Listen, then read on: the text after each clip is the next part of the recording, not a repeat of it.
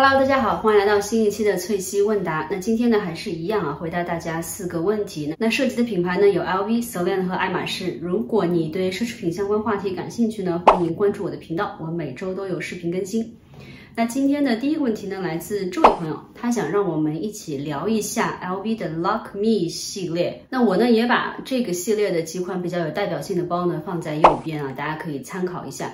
那图片里面呢，我都选择了黑色的款式啊，但其实呢，它还有别的不同的颜色啊。我之所以都选了黑色呢，是因为这样看起来比较整齐。那 Lock Me 系列之所以叫 Lock Me 呢，其实是因为它的这个包扣啊，它是一个 logo 的设计，那再加上一个旋转式的一个包扣，其实呢是有一点点像 Chanel 的那个 CC Turn Lock。那在小皮具上呢，受限于它的这个尺寸啊，它就把这个锁扣去掉了，仅仅保留了这个 logo 的设计。那 Lock Me 系列呢，算是 LV 的一个中高档系列啊，全部都使用的一个立面牛皮，价位呢在两千到三千多之间啊。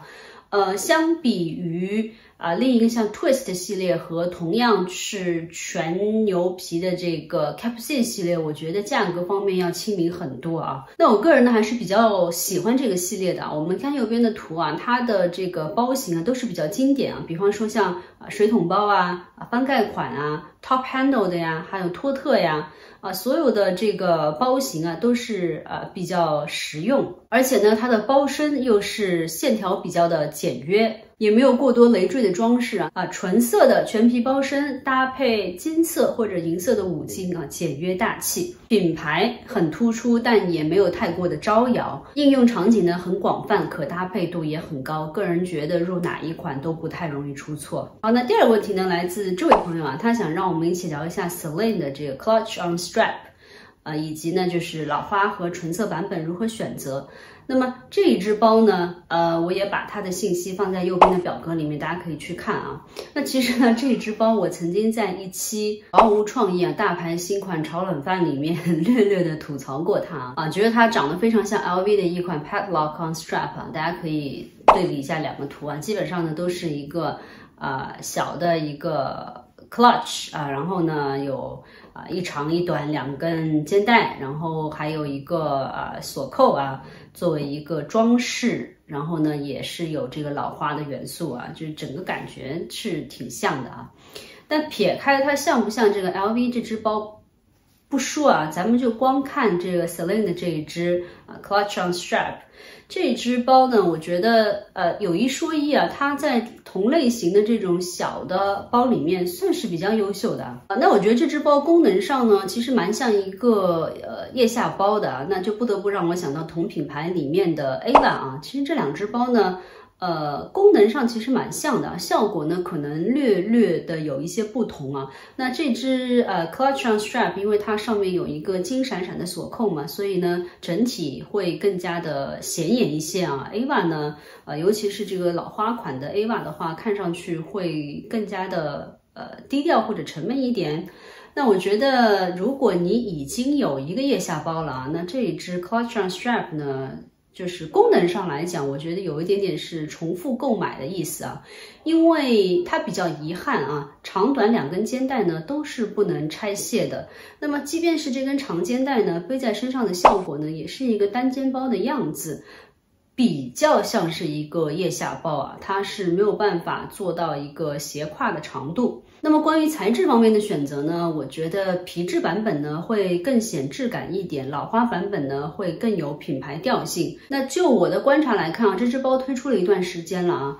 呃，它似乎没有成为像 A 版那样的爆款，所以呢，皮质版本呢，对于大部分人来说会低调一些啊。老花版本呢，就品牌识别度更高一点。那这就按照自己个人的需求去买了。我个人会比较偏好这只包的全皮版本啊，因为我觉得它的元素会少一点，仅仅是一个纯色的皮加上什么五金，那这种更少的元素呢，反而能更好的突出它的。这个五金的一个精致程度。下一个问题呢，来自这位朋友啊，他想让我们聊一下小邮差和法棍啊，都是来自 LV。那呃，我自己解读一下啊，他的小邮差呢，应该说的是 p u s h m a t i s East and West。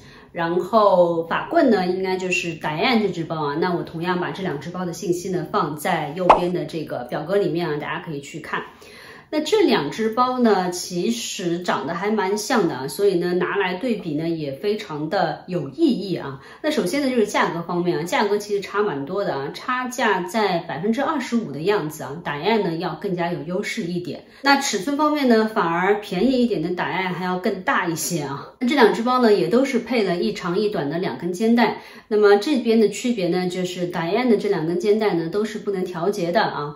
而小邮差呢，它的这根长肩带是可以调节的，那另外这根金链子呢就不能调节。好，那除此之外呢，小邮差还有一个可以提供手提的一个手柄啊。那包身材质呢？都是以涂层帆布为主啊，配以一些植鞣革为辅。那么关于这两只包的整体风格呢，我觉得撇开打样的那根宽肩带啊，打样给我的感觉呢更优雅一点啊，小邮差呢就更加的时髦帅气一点，尤其是它有一根金链子啊，我觉得会更加的有街头感一点。那我自己呢是会更喜欢打样一点啊，那几个原因啊，第一呢就是我觉得这两只包就是功能上啊是比较接近的啊，它们长得也蛮像的，那我当然是价。格优先啊，毕竟，呃，打样的价格要比小邮差更有吸引力多了啊，它要便宜。刚才我们说了，便宜将近百分之二十五啊。好，那第二呢，就是我个人的审美啊，更倾向于打样的设计啊，我非常喜欢它的这个包扣啊，就让我想到了这个 LV Tivoli 的 PM 啊，就是我。手边的这只包，大家可以看上面这一部分的设计，跟这个达燕的这个包扣是非常非常相似的。我觉得就这个设计啊，给我感觉它是优雅有女人味，但又不会很腻啊。我觉得像有一些女性意味太重的包啊，不仅会让人觉得腻啊，而且在这个使用上啊、搭配上啊，都是有一些局限性的。而这种非常。呃，轻微的点到为止的设计，我觉得就非常好。当然了，我还是要一如既往吐槽打样的这根宽肩带啊，我真的是不太喜欢啊。那如果我自己去买打样呢，我很有可能会呃把这根宽肩带卖掉，或者是我使用的时候就不用这根宽肩带了。那这只小邮差呢有好处啊，什么好处呢？就是它的这根长肩带是一根万能肩带啊。大家仔细看呢，你会发现它这个肩带就是一根老花的肩带啊。那理论上是可以搭到任何一个 LV 的老花包包上面使用的。当然了，这个并不是它的优点啊。其实，呃，我们知道原始版本的这个 Push Matisse 也是配了一根老花的肩带啊。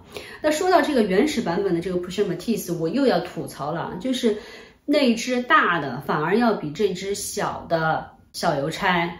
要更便宜啊，便宜了三百多美金啊，我就不明白了啊，这个小邮差小了一圈，它仅仅是加了一根金链子就要贵这么多啊，我觉得有一点点。